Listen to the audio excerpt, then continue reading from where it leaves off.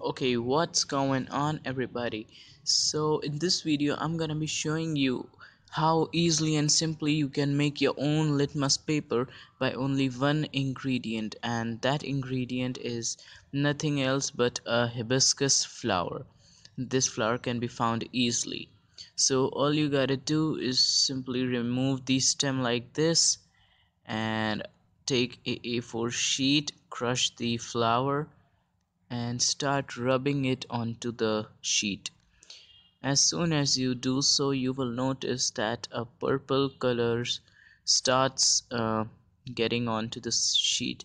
And if you guys know, then the purple color is the color of a neutral substance. So this is gonna be the color of our litmus paper or an acid base indicator paper. I'm gonna be doing same with the other flower as well removing the stem crushing hard and taking the color off onto the sheet. Let me try and fill the sheet up. Well that's cool. Okay so after drying it up it will look like this and you gotta take a scissor and cut the paper and you gotta cut the paper in the stripes in the form of a actual litmus paper stripe. So after you're done with that we'll have a look at it.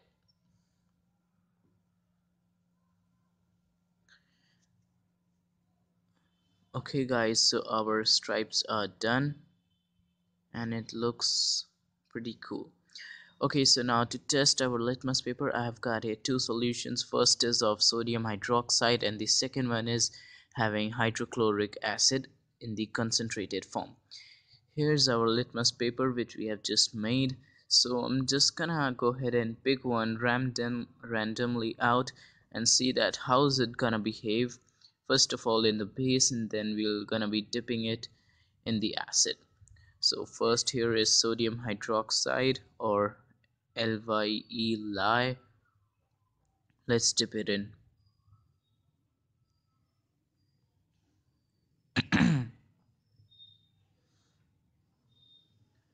Okay so as you guys can see I'll try to focus it on. Yeah that's cool. You guys can see that the color has changed to blue from purple and that's clearly visible. That's because sodium hydroxide is a powerful base which changed its color now let's try to dip it in the hydrochloric acid and see that how does it behave. Whoa that's cool. As you guys can see that the color has changed to deep pink or dark red. And this indicates that the substance is acidic. Okay so there's one more thing guys that we can do with the hibiscus plant uh, I'm gonna take some water in one beaker take a hammer and I'm just gonna go ahead and um, slightly crush all of these flowers so that I can get that juice out of them which acts as a, acid base indicator. Uh, I'm just gonna go ahead and crush it up. I think it's done. Now I'm gonna be adding it into the water and gonna just give it a little wobble so that it's mixed thoroughly inside it.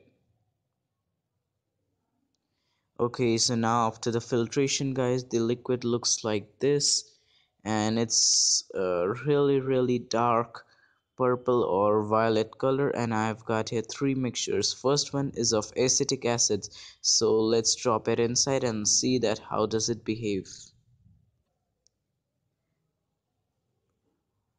alright so let's give it a wobble and see if it's actually gonna change its color or not.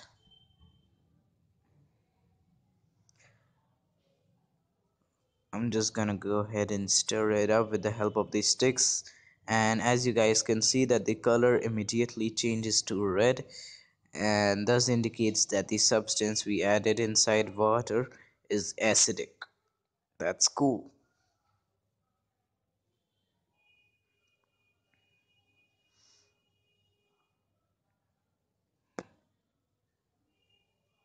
okay so now we are having a sodium hydroxide solution again guys. And let's go ahead and drop it in. There it goes. Let's stir it up again as we did last time. Okay guys remember if we are adding the base uh, after the acid it is not gonna turn like blue because um, it's not the real pH indicator in the liquid form. But yes it's definitely gonna fade out the red color a little bit. And we're gonna get some precipitate out of it. I'll try to show you guys. Yes this is the precipitate. Uh, little slushy looking blocks of purple and blue color and it has faded out the red color as well. Okay so now we are having our bad boy back which is concentrated hydrochloric acid.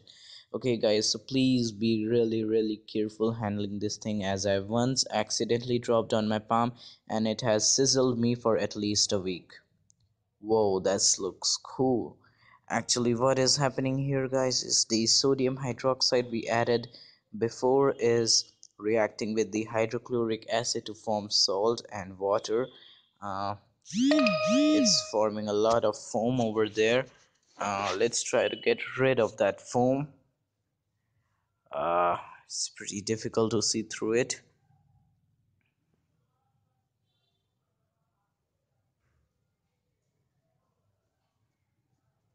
uh, just a sec. I will clean it up.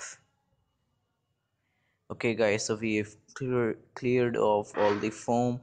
And now as you guys can see that the solution has changed to deep orange color.